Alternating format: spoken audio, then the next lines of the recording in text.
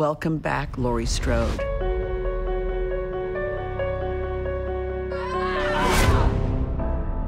She gave it all her heart, her soul, her blood. But that bubble burst because Michael comes back.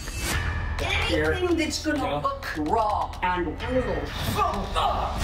As long as it doesn't look like a movie fight, I will be happy. Um, these are it. I love being a member of a crowd. Love it. I'm gonna clean my glasses with your shirt. That sort of deep companionship and friendship. Sharing lots of information with me today. It will be difficult to say goodbye to Laurie Strode. It's her legacy, and it's now part of ours. Jamie Lee Curtis of Halloween. It's been an emotional movie for me, to be honest. Thank you.